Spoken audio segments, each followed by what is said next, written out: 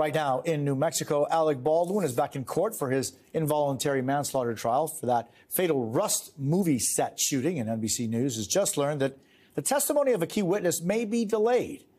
NBC's Dana Griffin is following the trial and joins us this morning. Dana, what do we know today? So not only could that key witness, Hannah Gutierrez Reed the armor, be delayed, but right now, as we speak, there is a motion that is being heard by this judge because the state is asking for the case to, the case to be dismissed. They claim the state buried evidence concerning ammunition that was brought in by what they call a good Samaritan who said, Hey, this ammo is tied to the death of Halyna Hutchins. And the state is saying the state did not present that evidence to the defense that could have been exculpatory or could have been information to gain a better sense of where exactly those live rounds came from. It may not really help Baldwin's case, but it could overturn. Essentially Hannah Gutierrez Reed's conviction if they can prove that those rounds were a match and could have and came from the supplier of the ammo to of the ammo to the Rust film set. So this is major because they are essentially asking the judge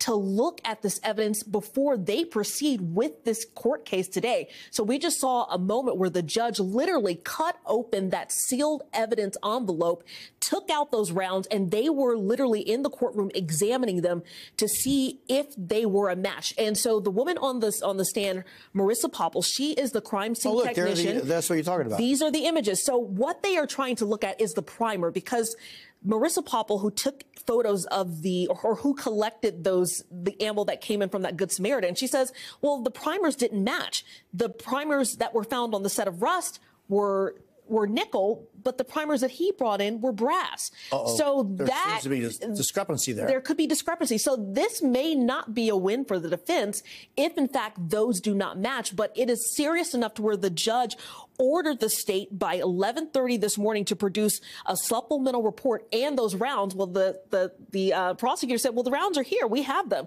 And so that's where you kind of have this like jaw-dropping moment where it's like, "Wait, is this happening at this moment?" She wants to make sure that she can at least examine those rounds to see if in fact they were a match.